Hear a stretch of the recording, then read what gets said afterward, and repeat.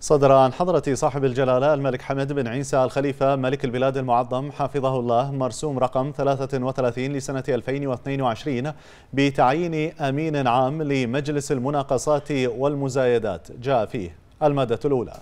يعين السيد جمال عبد العزيز عبد الغفار العلوي أمينا عاما لمجلس المناقصات والمزايدات.